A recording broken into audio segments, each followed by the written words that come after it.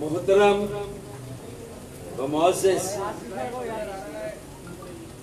Media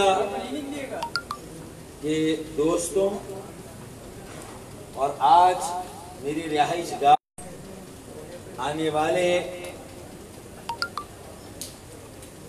Karachi भर के वो मुतासरीन। जो ताजिर हैं, दुकानदार हैं, कारोबार करते हैं, मगर हालिया दिनों में नाजायज कब्जे और एनक्रोचमेंट के खिलाफ होने वाली मुहिम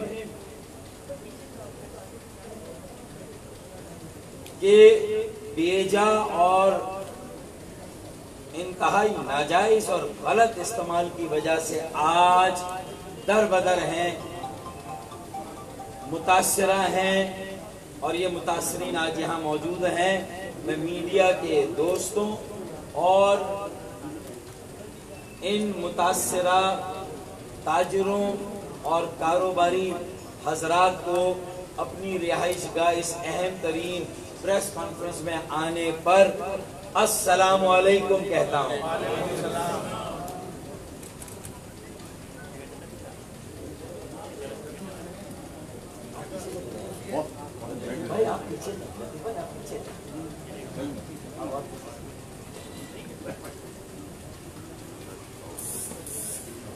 आज की प्रेस कॉन्फ्रेंस इसलिए इंतहाई अहम है कि एक तरफ़ कौमी मीशत तबाही के दाहने पर है।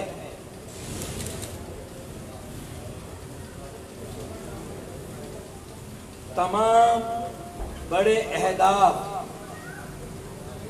चाहे माशी अहदाफ या इंडिकेटर्स हों चाहे समाजी अहदाफ या इंडिकेटर्स हों, कौमी मीशत में और कौमी माशरत में ये तमाम बड़े अहदाफ तेज़ी से तनसुली का शिकार हैं, नीचे की तरफ़ जा रहे हैं।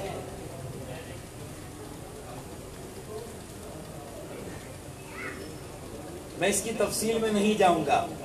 लेकिन मेरा पैगाम बहुत वाजे है कि मीशत शदीद बहरान का शिकार है।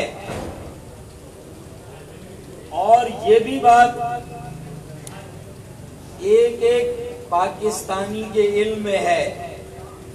पाकिस्तान का हर बच्चा ये बात जानता है कि शहर कराची को पाकिस्तान की मीशत में माशी बहाली और माशी तरक्की में हमेशा एक अहमियत हासिल रही है। अगर आज डॉलर ऊँची से ऊँची उड़ान उड़ रहा है। कल ही आठ से दस रुपए और महँगा हो गया है। रुपया आठ से दस रुपया उसकी कदर में और कमी हो गई है। तो हम ये समझते हैं कि इससे इससे महँगाई में और गुर्बत में तो इजाफा होगा ही होगा, लेकिन इस सारी सूरत हाल से बेरोजगारी बेरोजगारी में बेतहाशा इजाफा होगा। पाकिस्तान का हर शहरी मुतासर होगा। ये तो सिर्फ़ माशी बहरान की वजह से जो हो रहा है। जो गलत तरजीहत हैं, गलत पॉलिसी है, जो सौ दिन का प्लान हंड्रेड डे प्लान के नतीजे में मीशत, जिस तबाही और बर्बादी से दो चार हुई, सौ दिन के प्लान में गलत तरजीहत की वजह से, गलत इकदाम की वजह से,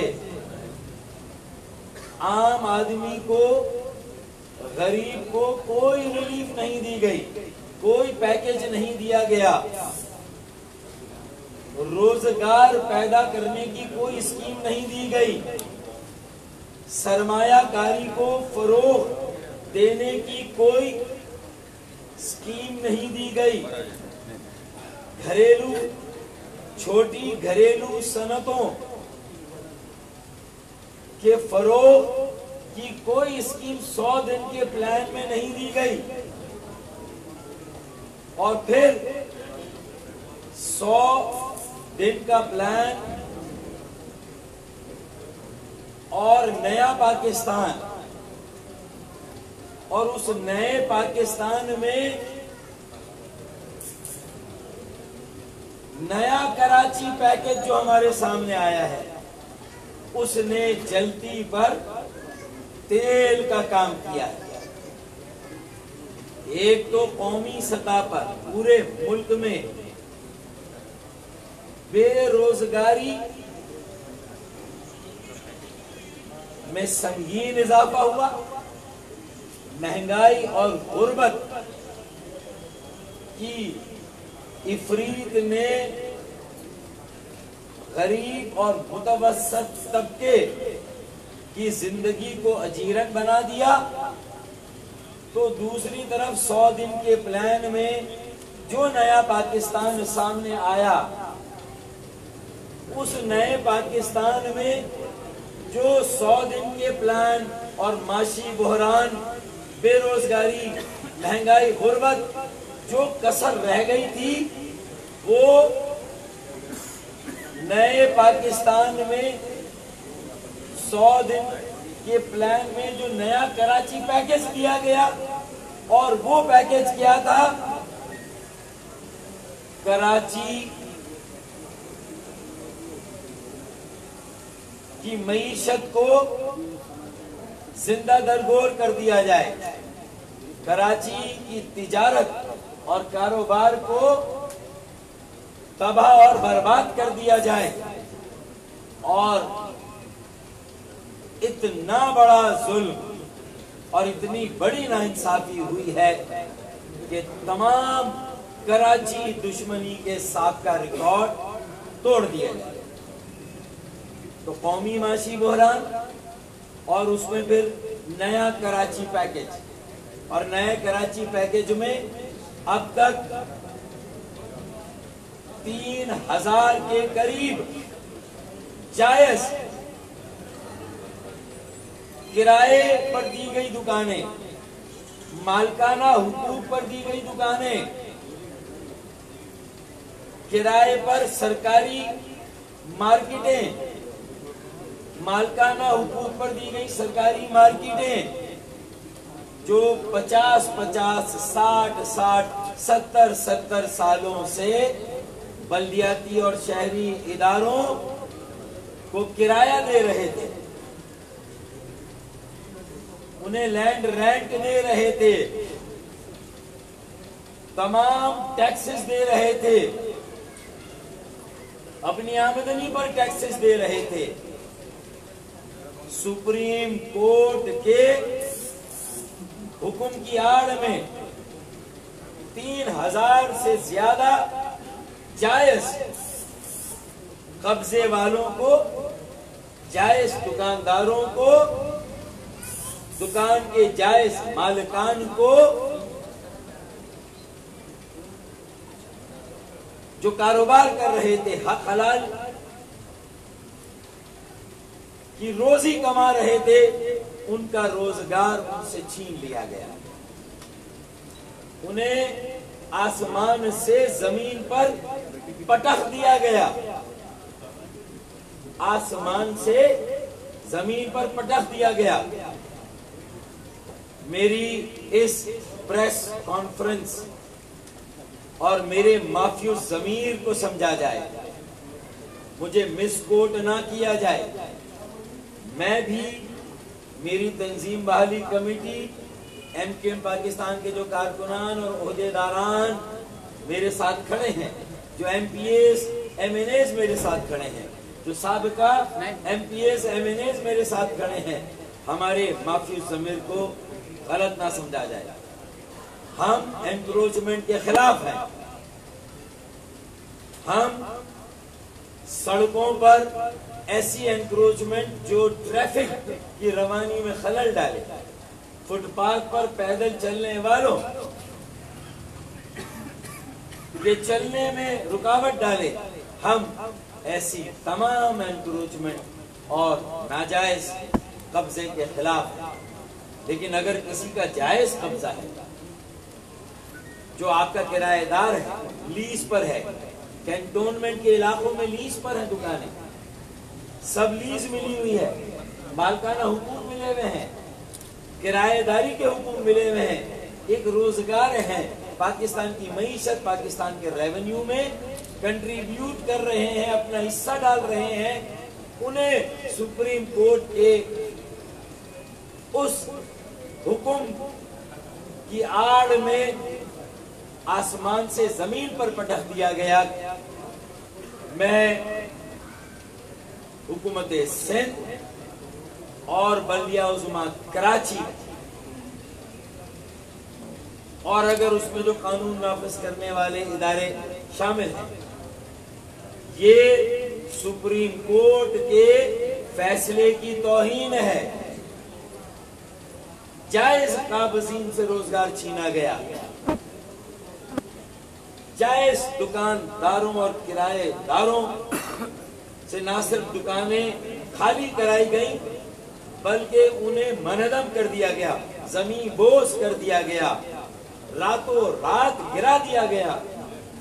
मैं इस जुल्म और नाइंसाफी की सख्त तरीन अल्फाज में मजम्मत करता हूँ, जो कि मेरी कानूनी,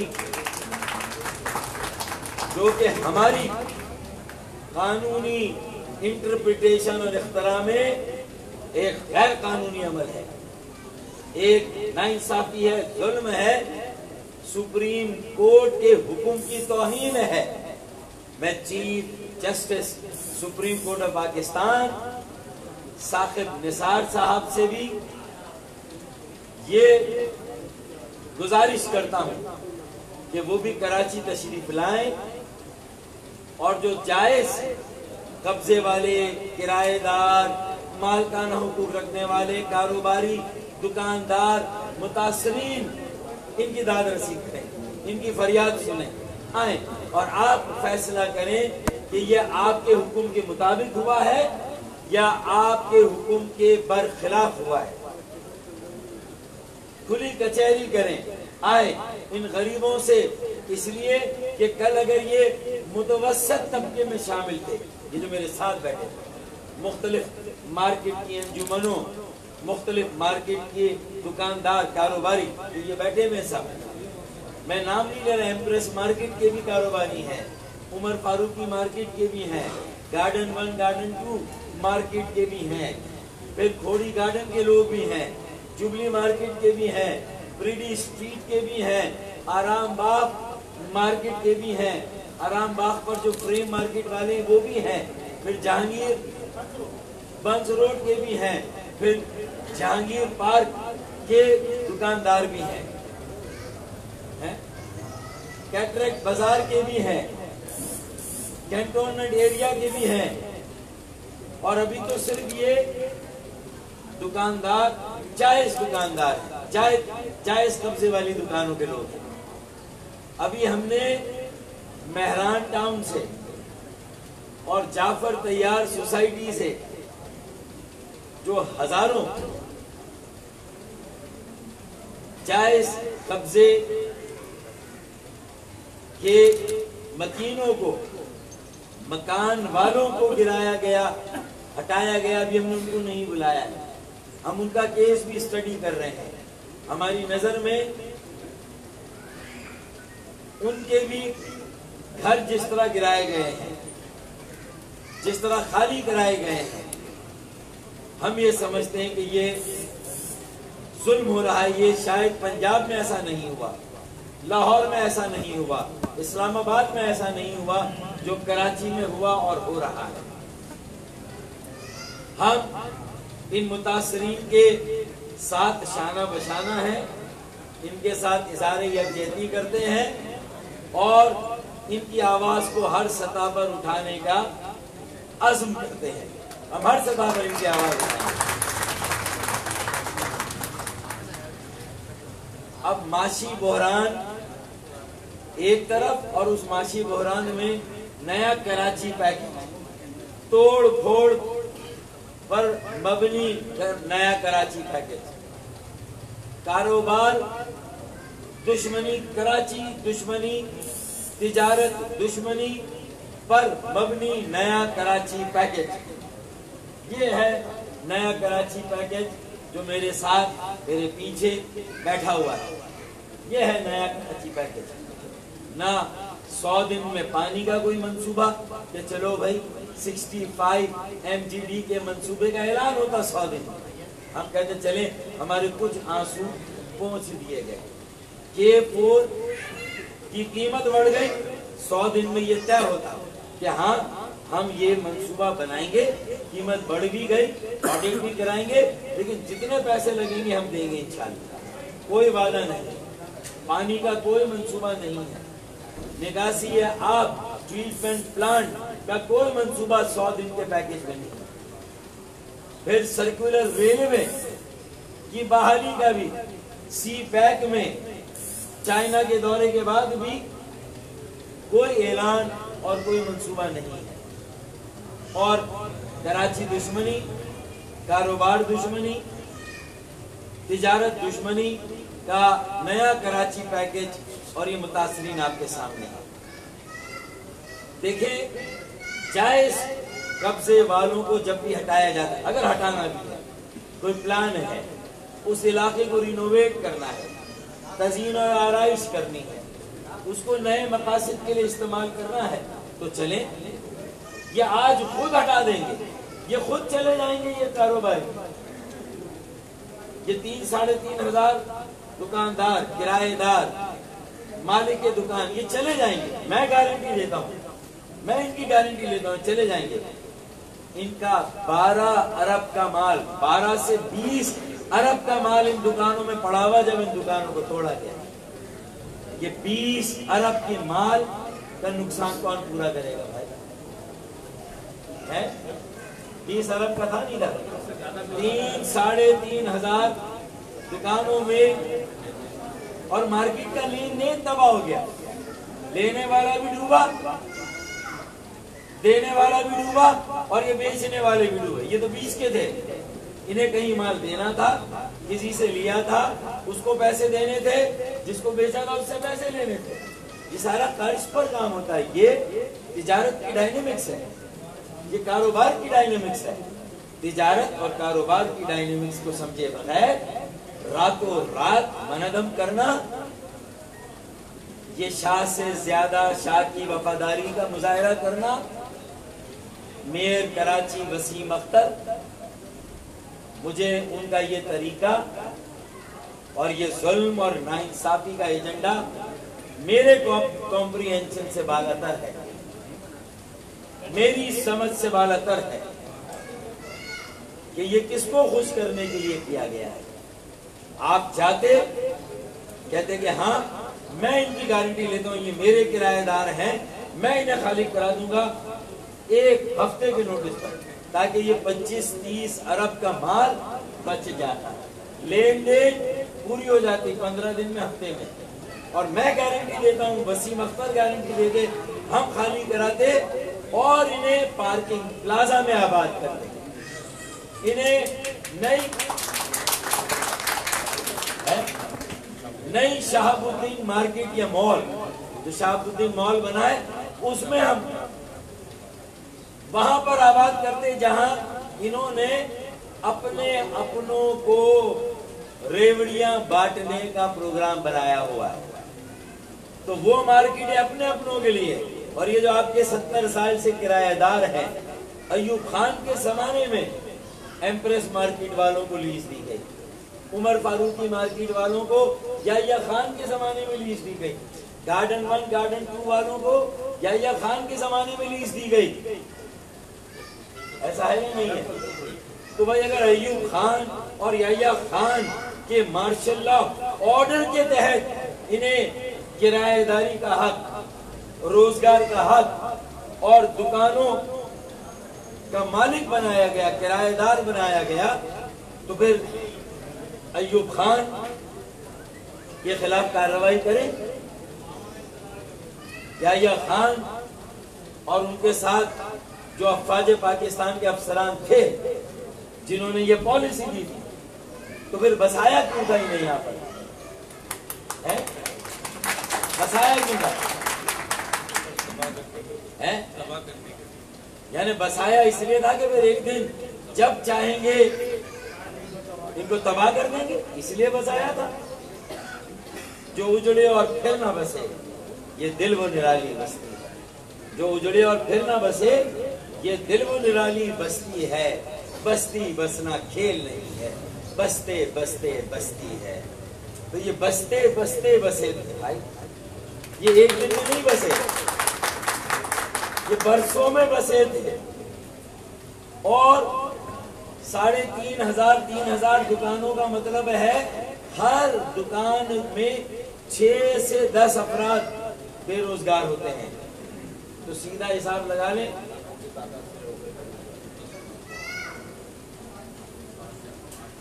नहीं, ये तो बरह रास्त जो आपके यहाँ मुलाजिम हैं, जो नौकर हैं, जो काम कर रहे हैं, और हर दुकान में दो तीन पार्टनर हैं इन्वेस्टमेंट है भाई। तो दस आदमी तो एक दुकान में मुतासर हुए तो तीन, साढ़े तीन हज़ार का मतलब कितने हो गए? साढ़े तीन लाख हो गए नहीं होंगे मेरा हिसाब। साढ़े तीन लाख ही हो गए। फिर इनकी सप्लाई चेन माल लेना, माल देना, फिर छोटे कारोबारी। तो ये क्या? कराची का रिटेल बिज़नेस मेरा सवाल है। मुझे इसका जवाब चाहिए कि इसके पीछे is there a method behind the madness of mayor Karachi Waseem Akhtar? Is there a method behind the madness of the chief minister of the province of Sindh Murad Ali Shah is there a method behind the madness of the governor of Sindh, Imran Ismail मैं इन तीनों अफराद के नाम ले रहा हूँ। कि क्या गवर्नर सिंध इमरान इस्माइल वज़ीर अला सिंध मुराद अली शाह और मेयर कराची वसीम अख्तर के इस पागलपन के पीछे कोई मजमून मकसद है? हमारा गैस है। हमारी कयास आ रही है कि कराची का रिटेल बिज़नेस कराची का थोक बिज़नेस कराची का बल्क बिज़नेस किसी और को देने की तैयारी हो रही है। किसी और को खुश करने की तैयारी हो रही है। मैं नाम नहीं ले रहा। ये मेरा गैस है। ये मेरा, मेरी कयास आ रही है, मेरा ख्याल है। तो क्या कराची के महाजर उर्दू बोलने वाले और दीगर जबान बोलने वाले, कराची में रहने वाले सिद्धी भाई, पंजाबी, पख्तून जो बड़ी तादाद में मुतासर हो रहे हैं, बलोच, कच्ची मेमन सराइकी गुजराती, वैसे मेमन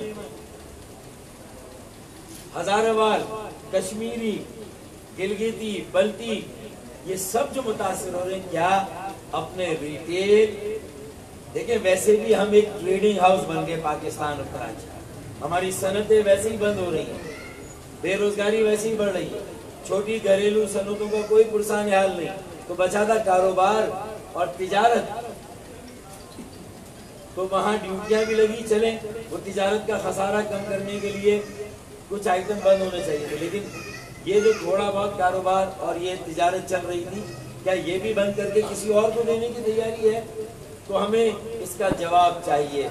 मेरा पाकिस्तान की हुकूमत, वफाकी हुकूमत, सूबाई हुकूमत और जो के के करता धरता है, और फिर जो केडीए भी इसमें कूद गई है आगे ये जोड़िया बाज़ार के थोक मार्केट वाले, कराची, पाकिस्तान का माली दारुल खिलाफा और पाकिस्तान का, कराची का माली दारुल जिला, जो खिलाफा है, जो जिला जिला जुनूबी है।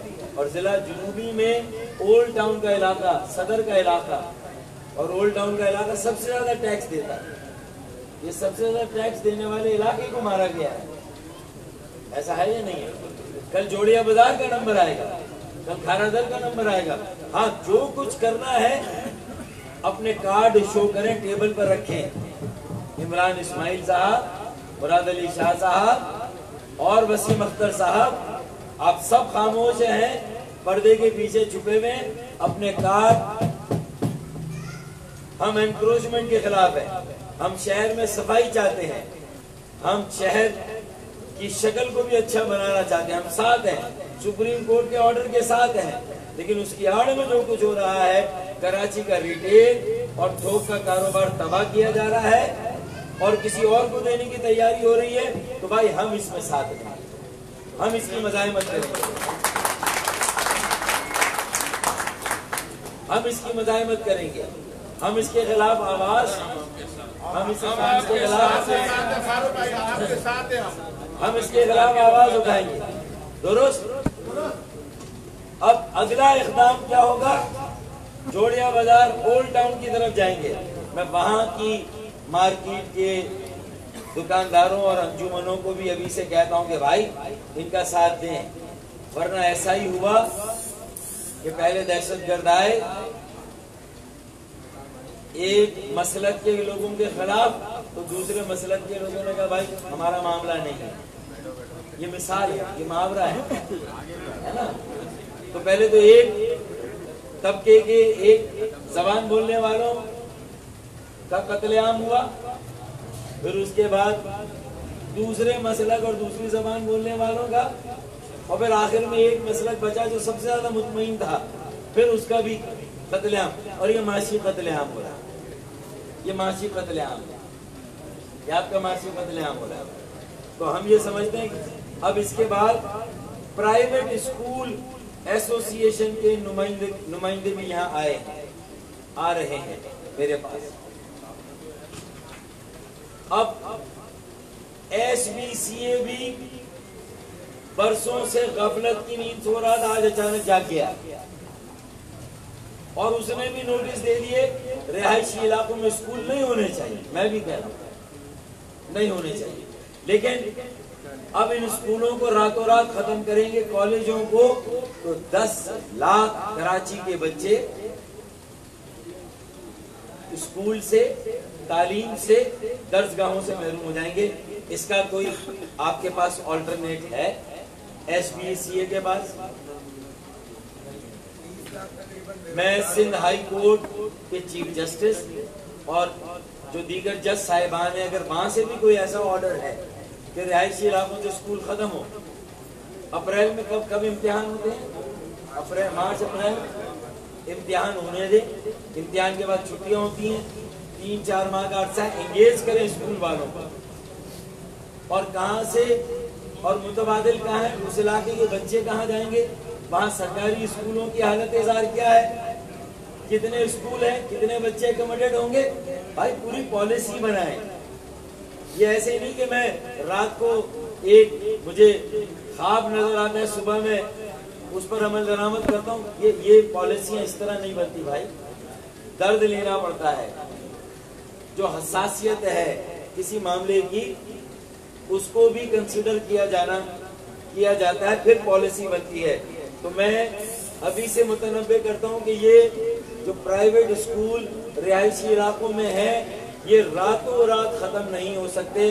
और अगर इन्हें भी रातों रात खत्म करने की साजिश की गई, रातों रात रिहायशी इलाकों में अगर कोई कमर्शियल घरेलू सनतें बनी हुई है वहाँ वहाँ हमारी बहनें, हमारी माए, वो छोटे मोटे काम कर रही हैं लेद मशीनें लगी हैं स्पिनिंग मशीनें लगी हैं, और वहाँ काम हो रहा है तो जब तक सनती इलाके, छोटी घरेलू सनतों को, रिहायशी इलाकों से, तालीमी इदारों को, रिहायशी इलाकों से आप मुंतकिल नहीं करेंगे तो कैसे इन सारी चीज़ों को रातों रात खत्म कर देंगे? ये रातों रात नहीं हो सकता। ये कराची में बसा है। कराची इसी तरह ग्रो किया है। तो ये मसले का हल नहीं है कि आप नोटिस दे दें, पंद्रह दिन का और पंद्रह दिन बाद खाली करा दें। जी नहीं, हम इसको नहीं मानेंगे। आखिर में कराची वालों को इस बात पर भी अफसोस है सद अफसोस है कि सौ दिन के प्लान में कराची के लिए तो ऐलान हो सकता था कि ऑडिटर मुकर्र कर दिए गए हैं और पाँच फ़ीसद की सैंपल मरदमशुमारी होगी और मरदमशुमारी का ऑडिट होगा, लेकिन कोई ऑडिटर कंसल्टेंट अपॉइंट नहीं किया गया। और कराची की मरदमशुमारी का मामला भी दीगर मसाइल की तरह कालीन के नीचे दबा दिया गया है। तो हम इसे भी तस्लीम नहीं करते। मरदम शुमारी दोबारा होनी चाहिए कराची की। हल्का बंदियाँ दोबारा होनी चाहिए कराची की। तरक्याती फंड्स हमारी आबादी के मुताबिक मिलना चाहिए। गैर आईनी कोटा सिस्टम खत्म होना चाहिए। सिंध के शहरों के साथ सिंध के शहरों के साथ जो इस्तेसाल हो रहा है, ये खत्म होना चाहिए। और इन तमाम मसाइल जो नया कराची पैकेज है, इसे मुस्तरद करते हैं। ये नया कराची पैकेज नया पाकिस्तान नहीं बनाएगा। एक ऐसा नया कराची पैकेज जहाँ कारोबार को तहफ़ कारोबार को फरोग हो। तिजारत को तहफ़ हो तजारत को फरोग हो। छोटी घरेलू सनतों को, छोटे कर्जों की स्कीमों को, बेरोजगार नौजवानों तालिब इलमों को, जो जमीनें कब्जा हो रही है, वो जमीनें उनमें तकसीम की जाए। उन्हें छोटे कारोबार, छोटी सनतें बनाने और चलाने का मौका दिया जाए। रिसर्च एंड डेवलपमेंट इंस्टीट्यूट बनाने का उन्हें मौका दिया जाए। अच्छे नए तालीमी इदारे बनाए जाए। ये नया कराची पैकेज नहीं, ये नया कराची डैमेज है। ये पैकेज नहीं, ये डैमेज है। ये हम कहेंगे अब इस, ये सारी चीज़ें आइंदा सात दिनों में, एक हफ़्ते में ये पागलपन, ये जुल्म और नाइंसाफी, ये कारोबार रोज़गार छीनने का ये जायज़ काबजीन से दुकानें खाली कराने का, घर खाली कराने का अगर सिलसिला बंद ना हुआ तो इंशाल्लाह आज यकम दिसंबर है और शनिचर का दिन है, हफ़्ते का दिन है तो इंशाला सात रोज बाद इंशाला अगले शनिचर, अगले हफ़्ते, आठ दिसंबर है आठ दिसंबर को कराची के आवाम एम क्यू एम के कारकुनान।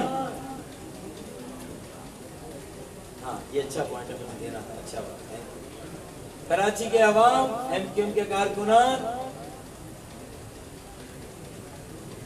कराची की बड़ी शारा एम ए जीना रोड पर। जगह तब्दील हो सकती है, लेकिन जमात इस्लामी ने केएमसी के दफ्तर के सामने मुजाहरा किया है, कल किया। जमात इस्लामी ने। हम जमात इस्लामी के इस इकदाम को सराहते हैं।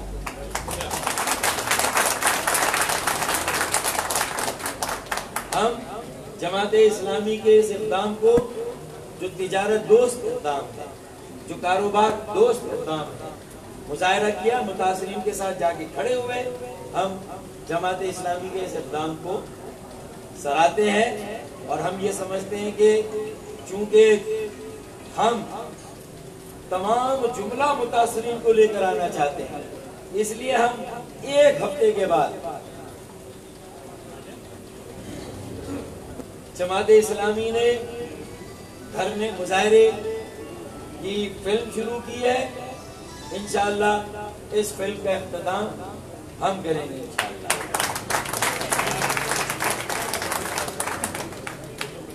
अगले सनीचर को सारी मुतासरा मार्केट के दुकानदार तो आएँगे। उनके अहले खाना भी आएँगे, उनके बच्चे भी आएँगे। क्योंकि वो वो वो जेर कफी, किफालत थे। उनकी किफालत हो रही थी। जिनके घर बर्बाद हुए, वो सारे खानमा बर्बाद लोग आएँगे। और जिनको घरों से निकाल। पाकिस्तान क्वार्टर्स वाले आएँगे इंशाल्लाह। Pakistan quarters Jahangir quarters Martin quarters Clayton quarters वाले आएँगे पूरा कराची आएगा इंशाल्लाह। अगले हफ़्ते शनिचर आठ दिसंबर। और कराची की तारीख का एक सबसे बड़ा मुजाहरा होगा इंशाल्लाह।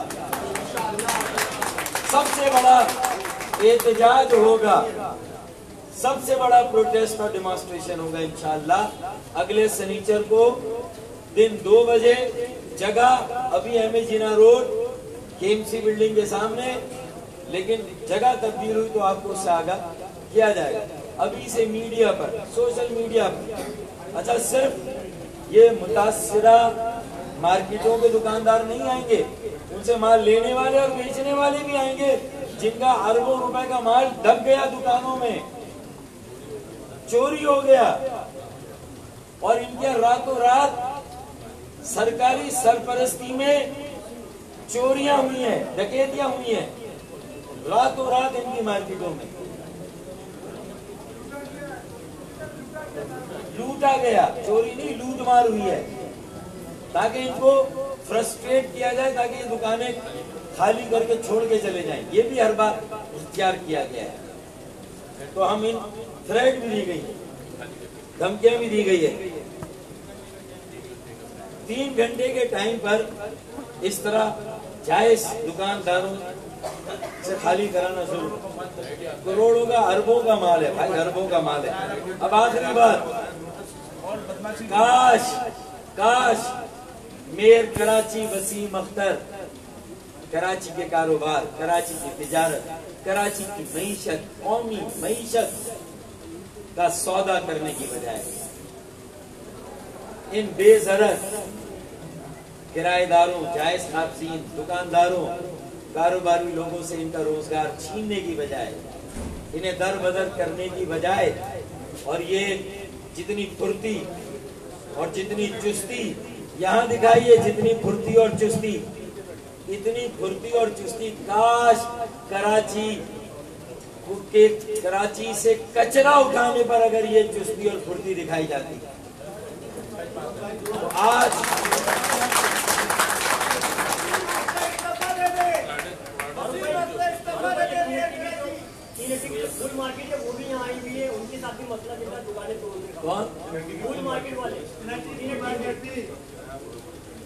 तो ये 2019 तक कैंटोनमेंट का किराया भरा हुआ है। उन्होंने। ये ये कैंटोनमेंट के किराएदार है कोई टीएमसी का मीडिया से अपील है खुदा के वास्ते ये टीवी में दिखाइए। खुदा के वास्ते ये मीडिया टीवी में दिखाइए। दिखाइए। ये सारी चीज़ें शो करे इससे हमें अच्छा ये कहा जाता था हमारे पास वसाइल नहीं है कचरा उठाने की मशीनरी नहीं है तेल के पैसे नहीं है। अब ये तोड़ फोड़ हो रही है तो कहाँ से गाड़ियाँ भी आ गई?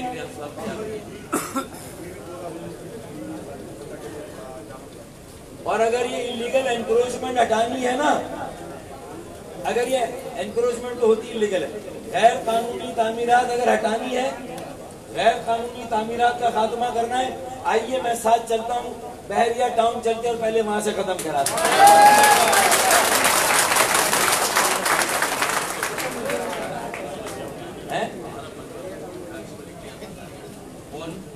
ये मुझे दुकानदार बता रहे हैं कि मलिक रियाज की गाड़ियाँ मलबा उठा रही हैं। और उन्हीं के वाटर जेट से वॉश भी हो रहा है। है? तो chief justice supreme court of Pakistan, एक तरफ़ कराची का पानी भी चोरी हो रहा है, और कहा दिया जा रहा है आपको पता है?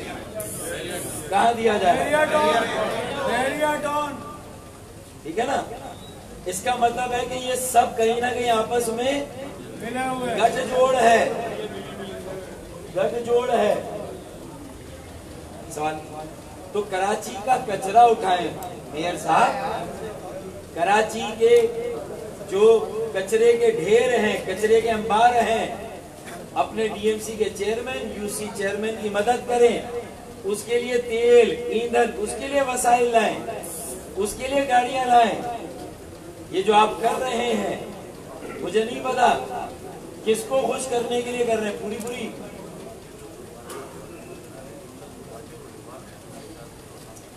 अब जो हमारे अफगानी भाई, वो भी कराची के हैं, उन्हें कारोबार मिल गया, क्योंकि उनसे मार्केटें तोड़वा रहे हैं, उनका तो रोज़गार लग गया। और वो लोहा भी वो ले जा रहे हैं तो भाई कम से कम लोहा तो इनको वापस करते हैं यार जो इनका लोहा आया बिल भी बना रहे हैं। अब ये सारी बातें भले आप भी ये एक एक दो दो बातें कह दें भाई कह दें आप। ये है सारे इनके चालान। कि मुझे फारूक भाई ने मौका दिया। मैं चीफ जस्टिस साहब से ये एक सवाल करना चाहता हूँ कि रियासत की माँ है चीफ जस्टिस साहब। ये सौतेलापन क्यों किया जाता है कि तीन घंटे में अपनी दुकानें तोड़ दी जाए? कम से कम रियासत वो चीज़ होती है कि अपने बच्चों को तहफुल देती है कि हम आपके लिए ये करने वाले हैं, आप जिस जगह शिफ्ट हो जाए, आपका कारोबार को हम इस तरीके से आगे की तरफ़ ले जाएँगे। हमें तो वो इस तरीके से मार रहा है कि हमने गुनाह किया।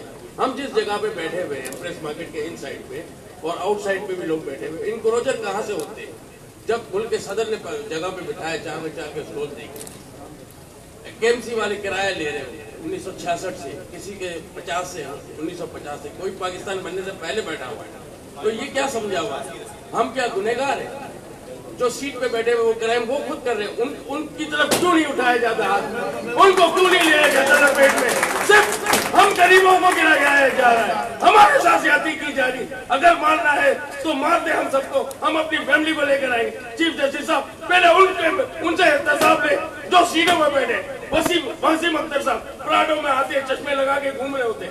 हमारे मेयर साहब आके हमें हवा में तीर दे रहे होते हैं। निकल जाओ, तीन घंटे में। वो ये सीटें तो इनकी आनी जानी है। हम यही रहेंगे। हमारी जनरेशन भी यही रहेगी। और ये हुकूमत भी हमने बनाई है।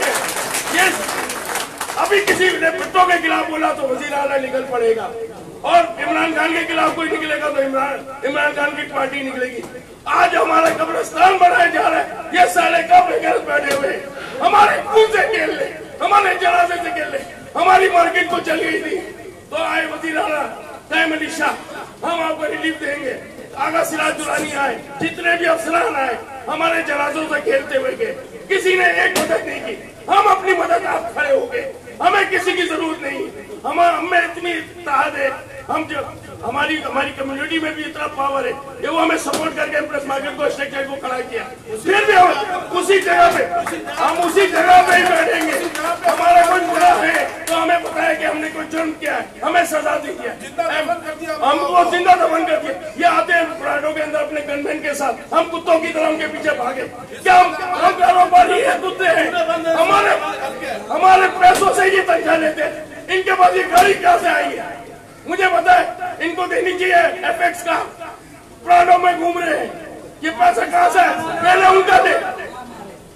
और ये ये जो बनाने वाले हम ताजी अफराद दे हम टैक्स पेयर हमें थ्रेट किया जा रहा है।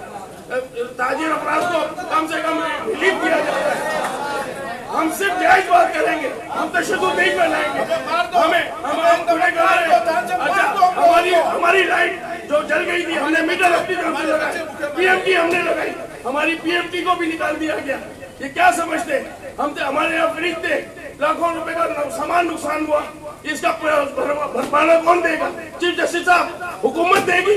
कोई हुकूमत नहीं देती हुकूमत का माल सिर्फ़ मिनिस्टर लोग खाते हैं।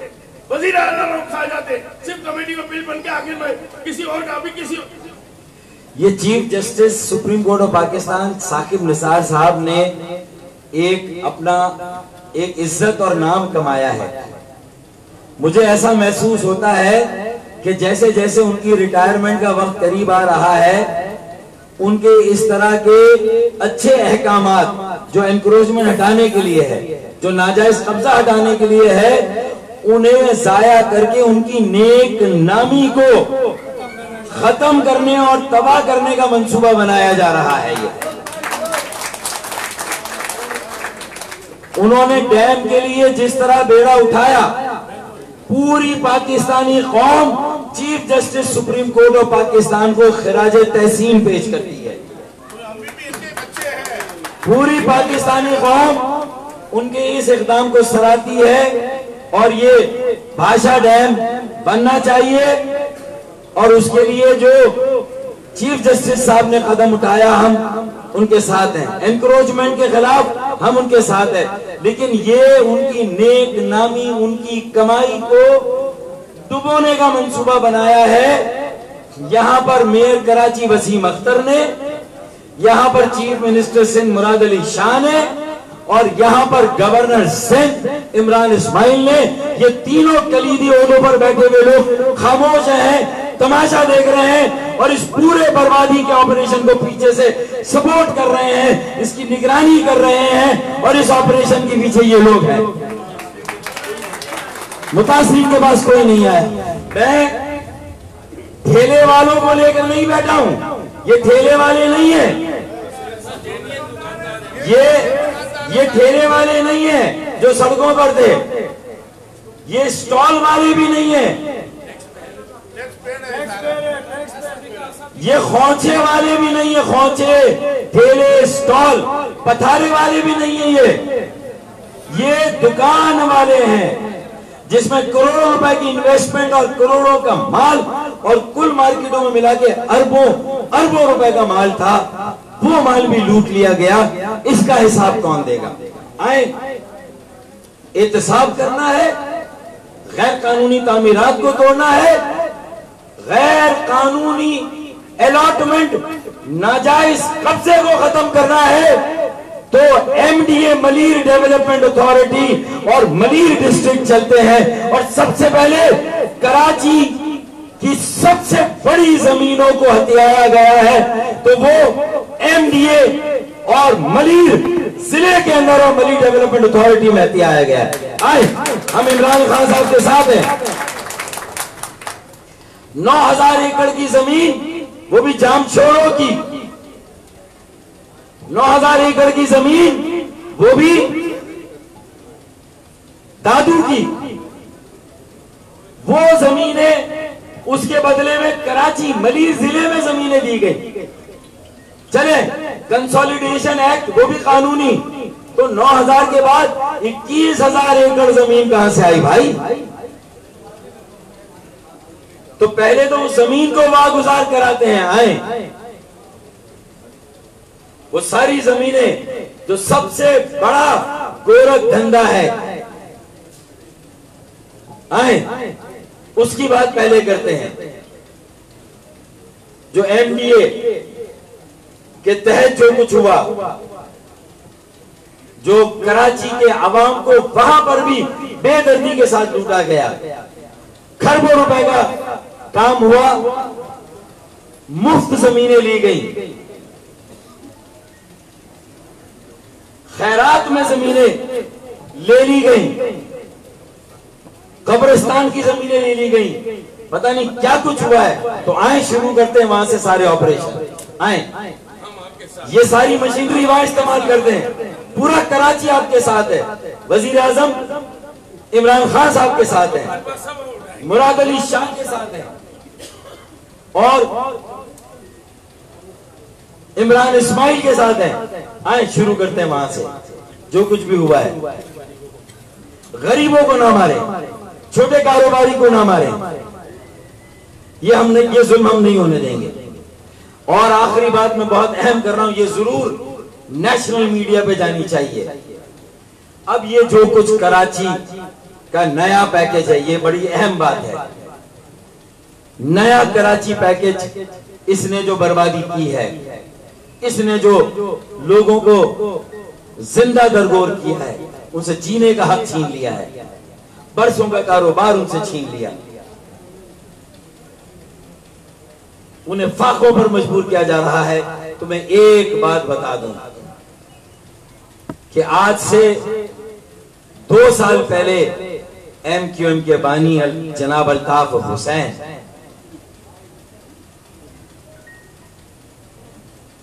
बाईस अगस्त को मुल्क के खिलाफ नारे लगाए ना उन्होंने। उससे पहले क्या इस तरह दुकानें तोड़ी गई थी? क्या 22 अगस्त 2016 से पहले दुकानें तोड़ी गई थी?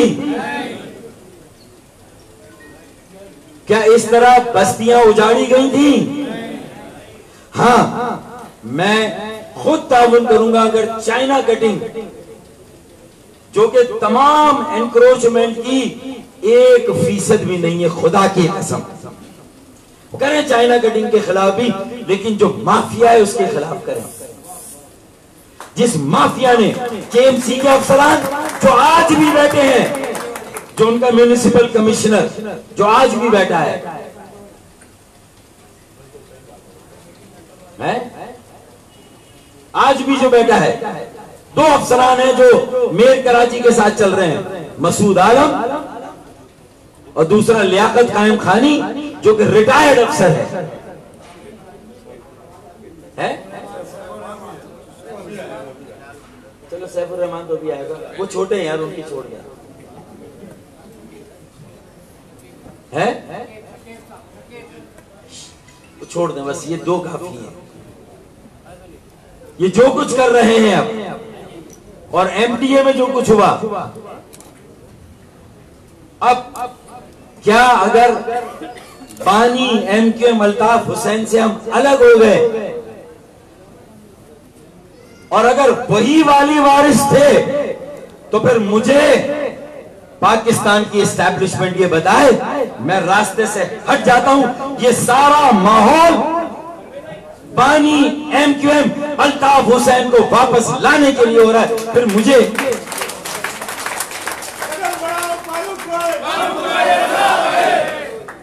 ये जो भी कुछ आज हो रहा है वाजे तौर पर अगर फारूक सत्तार की सरबराही नाकाम हो जाती है एम एम की, और ये तोड़ फोड़ हो रही है चाहे कारोबार, ये बंद किसने किया भाई?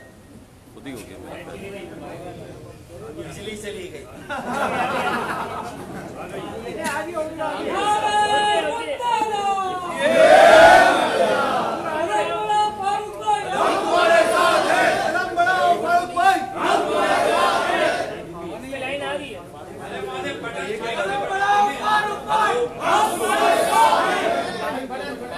सलमान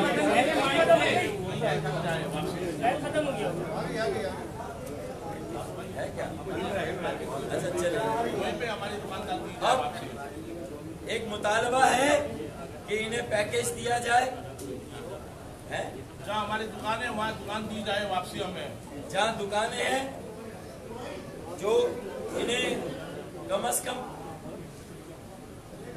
जो इनका नुकसान हुआ है कम अज कम कैश में 50 फ़ीसद जो इनका माल था कम अज कम जो इनकी दुकान की लागत थी जो उसमें इन्वेस्टमेंट थी उसका 50 फ़ीसद तो एक एक दुकानदार को दिया जाए। किसी को एक करोड़ रुपया दिया जाएगा, किसी को 50 लाख रुपया दिया जाएगा। और इन्हें कहीं बेहतर जगहों पर ही, मुतबादिल मुनासिब जगहों पर ही और सदर में ही कहीं पर इन्हें जो है वो मुतबादिल दिया जाए। मैं अहम बात कर रहा था, वो खत्म करूँ कि अगर आज बानी अल्ताफ हुसैन नहीं है और हम लोग हैं, और ये तोड़ फोड़ हो रही है। तो फिर क्या कराची वालों को ये पैगाम दिया जा रहा है कि वो सड़कों पर निकले और एमकेएम के बानी अल्ताफ हुसैन की पाकिस्तान की सियासत में बहाली का मुतालबा करें?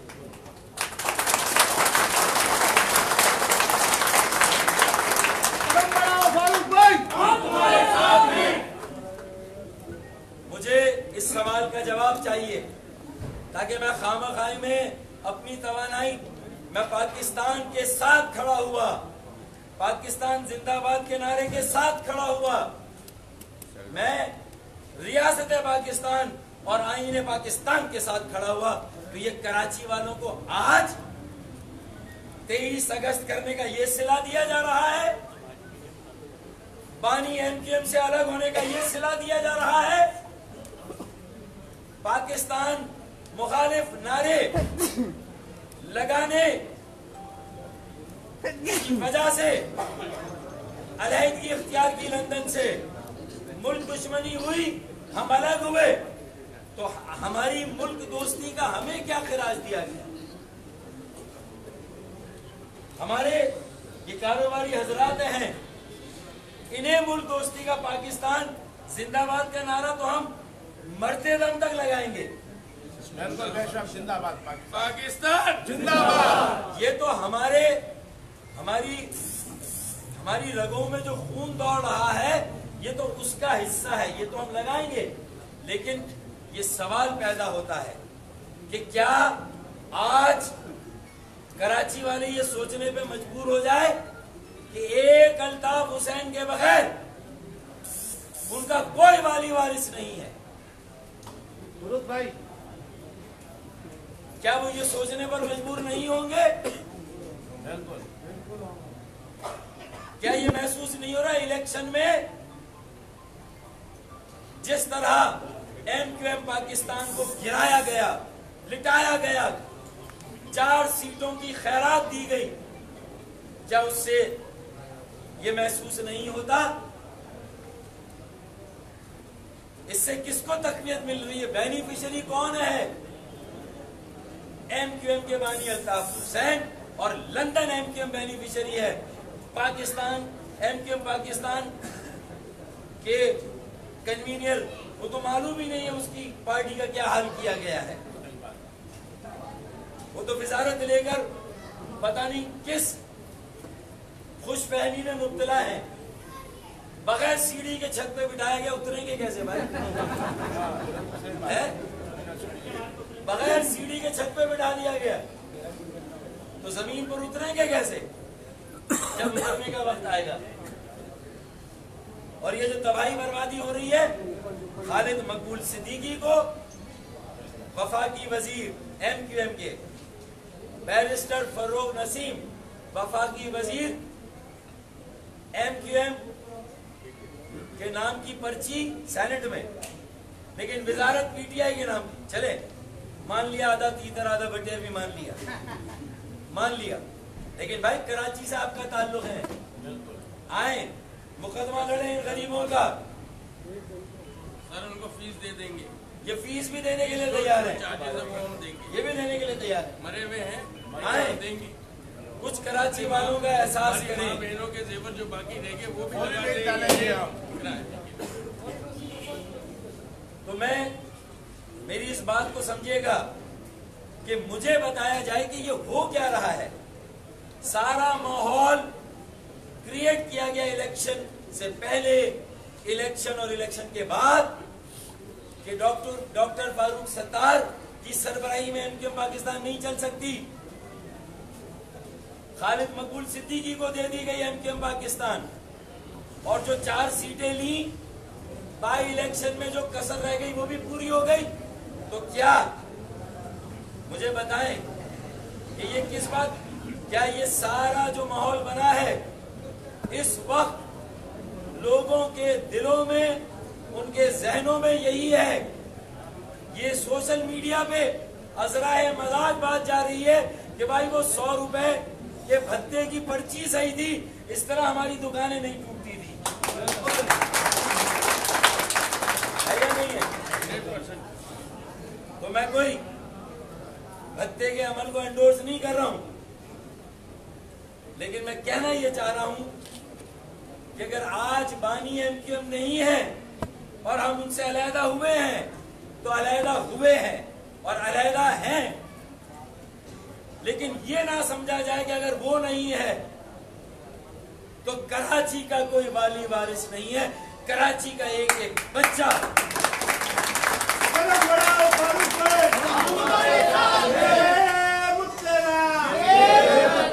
कराची का एक एक शहरी जहाँ लूट मार हो रही है उसको नहीं रोक रहे।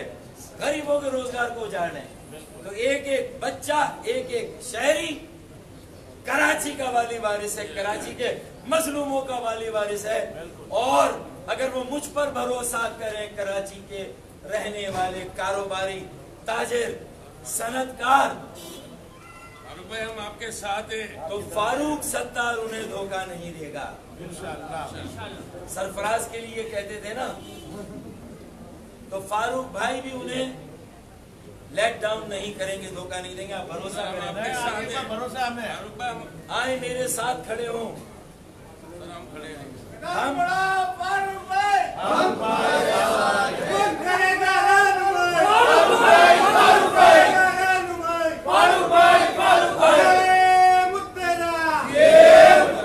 हम हम इंशाल्लाह कराची वालों को उनके हुकूक दिलाएँगे और एम क्यू एम पाकिस्तान को भी जो एम क्यू एम पाकिस्तान में इंक्रोचमेंट हुई है वो भी इंशाल्लाह ताला उस कब्जे को भी खाली कराएँगे, इंशाल्लाह खत्म कराएँगे। और कराची में जहाँ जहाँ इंक्रोचमेंट है, कब्जा है, बशमूर मलिर ज़िले के एमडीए की सरपरस्ती में जो नाजायज गैर कानूनी काम हुए हैं, वो सारे के सारे गैर कानूनी काम खत्म कराएँगे। गैर कानूनी तामीरत और जो माफिया है अफसरों की, उसके खिलाफ भी एक्शन होना चाहिए। और जो उनकी सियासी सरपरस्ती जिसने भी की, उसके खिलाफ भी एक्शन होना चाहिए। आइए, साफ़ करते हैं, सफ़ाई करते हैं।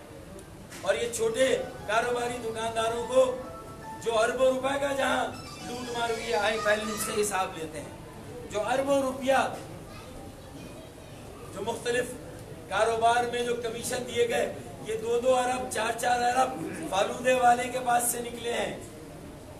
ठिए वालों के पास से निकली, ये किसके बेनामी अकाउंट है भाई? और ये दुबई में प्रॉपर्टियाँ निकल रही है किसकी हैं? ना? तो आए इन प्रॉपर्टियों को शो करें, ये प्रॉपर्टियाँ किसकी है? है जिन लोगों ने बैंकों से कर्जे लिए, हड़प किए, दुबई में प्रॉपर्टियाँ बनाई तो आए और उन्होंने फिर वो कर्जे धड़ल्ले से माफ़ कराए। इन कर्जा माफ़ कराने वालों को भी पकड़ते हैं। सर हमें तो माफ़ नहीं किया जाता। हम कर्जे लेते तो हमारे घर से उठा के बंद कर दिया जाता है और इन लोगों को माफ़ कर दिया जाता है। ये कैसा एहतसाब है? टैक्स हम पे करें। वो टैक्स भी पे नहीं करते। और हमारे साथ ही ज़्यादा चीफ जस्टिस साहब देखें ये इमरान खान प्राइम मिनिस्टर और उनकी हुकूमत को भी नाकाम करने का ये एजेंडा है। एक तरफ़ 50 लाख घर बनाने एक करोड़ रोज़गार देने की बात है। तो दूसरी तरफ़ अब तक जो कुछ हुआ है सौ दिन में वो घर छीने गए घर तोड़े गए दुकानें तोड़ी गई कारोबार तोड़े गए उजाड़े गए। अब तक ये हुआ जी भाई सॉरी अब आप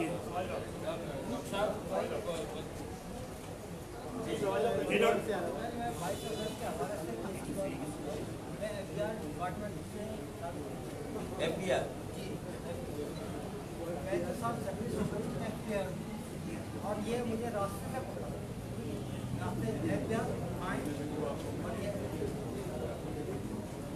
अब ये तो खैर वो मुकदमा तो हम सब फेस कर रहे हैं। डॉक्टर साहब सवाल जवाब हो जाए। के को सवाल जवाब हो जाए। अरे वही हो रहे हैं। जी। आगे आगे। हाँ, ज़रूर। गल ना है यार। जबानी किया है कोई हिम्मत मदद नहीं किया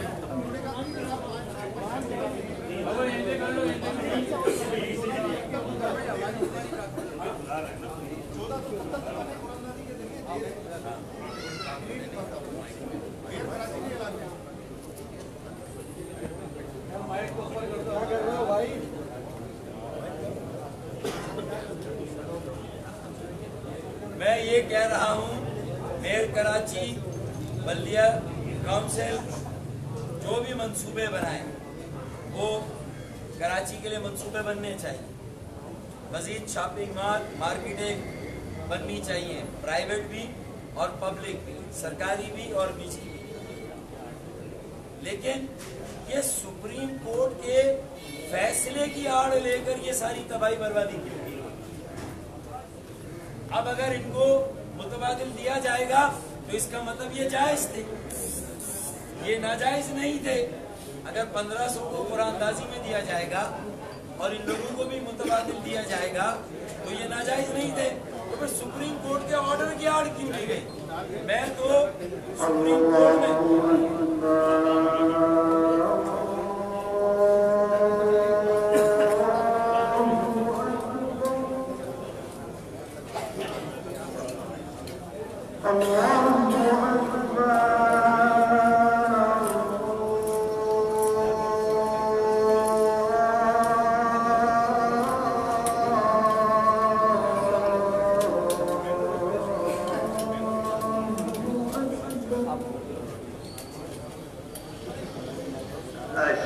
क्या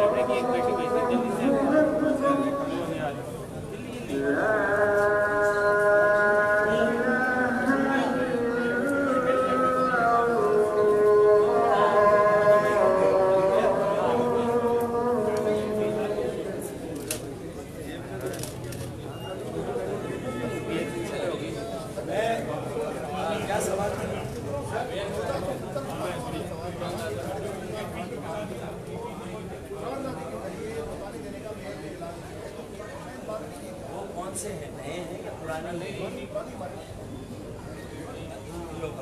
देखिए एक तो शहाबुद्दीन मार्केट पुरानी हटाई गई है। उसी के दुकानदार बकाया हैं जिन्हें शहाबुद्दीन मार्केट में दिया जाएगा। मैं ये कह रहा हूँ उनके अलावा जो जगह बचती है और शहाबुद्दीन मार्केट के और फेजेस भी बनेंगे। और इसी तरीके से आ, पार्किंग प्लाजा में भी 250 बड़ी दुकानें जिन्हें 500 600 छोटी दुकानों में तब्दील किया जा सकता है। तो ये अगर इन दो जगहों पर ये अलॉटमेंट कर दी जाए और ये मुतबादल दे दिया जाए तो अच्छा फार्मूला है। और उसका वाज ऐलान करें। वसीम अख्तर साहब, मेयर कराची, उसका वाज ऐलान करें। मैं अपनी बात को थोड़ा सा क्लियर कर दूँ कि भाई, ये जो इस वक्त कराची में सियासी माशी और माशरती सूरत हाल है। लोग उस वक्त को याद कर रहे हैं जब एम क्यू एम का दौर था। जब एम क्यू एम के पास 21 सीटें थी कौमी में। जब एम क्यू एम पच्चीस सीटें थी और बावन सीटें सूबाई में थी तो उस वक्त कराची के हुकूक गस्ब करना इतना आसान नहीं था। और ज़ाहिर है उस वक्त कंट्रोल एम क्यू एम के बानी अल्ताफ हुसैन साहब का था। मैं ये बैकग्राउंड इसलिए रख रहा हूँ कि अगर आज पाकिस्तान के साथ खड़े होने की, आज पाकिस्तान जिंदाबाद का नारा लगाने की, आईने और रियासत पाकिस्तान के साथ खड़े होने की ये सजा दी जा रही है कि हमारे जायज़ कारोबार और जायज़ कब्जे खाली कराए जा रहे हैं। हमें ज़बरदस्ती इलेक्शन में हराया जा रहा है। हमारी सीटें छीनी जा रही है। मरदमशुमारी में कम गिना जा रहा है। हल्का बंदियों में हमारी सीटें कम की जा रही हैं। तो अगर ये इस बात की सजा दी जा रही है कि हमने मुल्क दुश्मनी के नारे से अलहदगी इख्तियार की और पाकिस्तान जिंदाबाद के नारे लगाए तो फिर कराची वाले ये मवाजना कर रहे हैं कि उस वक्त हमारे मसाइल हल हो जाते थे। उस वक्त लोग हमारी रसाई में थे। मुंतखब नुमाइंदे हमें मिलते थे। गवर्नर, वज़ीर आला और मेयर आवाम में जाते थे। लेकिन आज जो सूरत हाल है, ऐसा नहीं है। अब चाहे वो डंडा था या जो भी था, कराची वाले कहीं ना कहीं, मैं ये नहीं कह रहा कि बानी एम के मल्ताफ हुसैन को याद कर रहे हैं, लेकिन उस दौर को अब ज़रूर याद कर रहे हैं। और ये मैंने अजराए मज़ाक ये बात की कि वो जो सौ रुपए की पर्ची की अहमियत का आज पता चला कि कम अज कम ये दिन नहीं देखने पड़े थे उस जमाने में जो आज ये दिन देखने पड़े। ऐसा ही है या नहीं है? तो अगर ये मवाजना हो रहा है तो पाकिस्तान के तमाम रियासती इदारों को भी सोचना होगा। कि हम कराची को कहाँ ले जा रहे हैं? कराची के वाली वारिस कौन है? क्या पीटीआई ने एमक्यूएम को रिप्लेस करके कराची के आवाम के दिलों में घर कर लिया? क्या उनके पास कारकुनों का वो मुनजम नेटवर्क और आवाम के साथ वो कनेक्टिविटी है? ये वो सवाल हैं जिसके जवाब कराची के मसाइल के हल के लिए ज़रूरी है। तो ये मेरा सवाल है, मैंने ये सवाल रखे हैं। कराची वालों को 23 अगस्त करने की सजा और हमें एम के एम को ये सजा नहीं मिलनी चाहिए जो मिली है। हम ये डिजर्व नहीं करते। ये ट्रीटमेंट हम डिजर्व नहीं करते। चले। सौदेबाजी के हवाले से आपने बात की तो सौदेबाजी तो कराची में इस हद तक फैल गई है कि यादगार सौदा का भी सौदा हो गया और किसी वक्त उस पर भी बुलडोजर चलाया जाएगा जराए बता रहे हैं उसका भी फाइनलाइज हो चुका है। लेकिन उसके ऊपर जब तक कोई बकायदा बात नहीं आए आज की प्रेस कॉन्फ्रेंस उसको रहने दें या आइंदा की प्रेस कॉन्फ्रेंस ये बताएँ सरदार साहब ये जो आपने इल्ज़ाम लगाए कि अफसरान राष्ट्रीय अफसरान है ये तोड़ा गया क्या आप सुप्रीम कोर्ट में चीफ के सामने पेश होंगे देखें अब तो नैब के कानून में ये वाजे है कि अपने मालूम जराए आमदनी से ज़्यादा अगर आपके असराफ हैं अखराज हैं तो फिर आपको उसका हिसाब देना है। तो मैं ये कह रहा हूँ कि ये जो एनकेएम के नाम से मंसूब की जाती है ना, चाइना कटिंग एनक्रोचमेंट हुई होगी वन परसेंट होगी शायद, चाइना कटिंग बाकी तो भाई, इक्कीस हज़ार एकड़ ज़मीन मली डेवलपमेंट अथॉरिटी ने अगर दे दी, कब्जा करा दिया वहाँ तामीरात हो गई अलॉटमेंट हो गई। वो अमेरिकन और रशियन कटिंग है मेरे भाई। और चाइना कटिंग में तो ये छोटे छोटे मजलूम है जिन्होंने 80 गज के प्लॉट लिए। 120 गज के प्लॉट ले लिए या 200 गज के ले लिए? आठ गज के भी होंगे। तो मेरा कहना यह है कि इसमें अफसरान की मिली भगत के बगैर नहीं हो सकता। तो चाहे इनकी मार्केटें बसी हो, उसमें अफसरान और हुकूमतें थी, जिन्होंने बसाया। और जो China cutting one percent encroachment की, उसमें जो कुछ हुआ तो जो रह रहे हैं, जो बसे हैं, उससे ज़्यादा कसूर उस माफिया का जिसने कब्जा करके, कब्जा माफिया, उसको पकड़े। माफियाज के पीछे जाए, हम साथ हैं। अफसरान जिन्होंने किया, उनके पीछे जाए, हम साथ हैं। प्लेटफॉर्म से आपका आपको खारिज किया जाए तो इस वक्त आप किस प्लेटफॉर्म पर हैं और आपकी सियासत का महवर जो है, वो आप क्या है कि आप इन मुतासरीन को का प्लेटफॉर्म को इस्तेमाल करके अपनी सियासत का बरकत बनाना चाह रहे हैं। तो आपका इस वक्त सियासी प्लेटफॉर्म कहाँ है? आप दोबारा से एम जो भी आपने कमेटी भी बनाई है तो किस चीज़ का आप हिस्सा है? सियासी आपकी हैसियत क्या है? साबिर भाई बगैर प्लेटफॉर्म के ये लोग जमा हो रहे हैं। और जब प्लेटफॉर्म होगा तो क्या होगा? यही प्लेटफॉर्म है जो एमपीएम है। इसी को वापस दे रहे हैं एमक्यूएम के वतन में वतन में अगर बजाहिर में आपको नज़र नहीं आ रहा तो मेरे दिल में एमक्यूएम है उससे कैसे एमक्यूएम को निकालोगे लोगों के दिलों में अगर मैं हूँ तो लोगों के दिलों से मुझे एमपीएम के वतन से, जिस पर कब्जा, उसकी रूह पर कब्जा नहीं है हैदराबाद वालों का एमपीएम के वतन पर कब्जा है, चंद कब्जा गिरों का। तो लोगों के दिलों से निकाले तो मैं समझूँगा मुझे एमपीएम से निकाला। मेरे दिल से एमपीएम को निकाले तो मैं समझूँगा मुझे निकाला।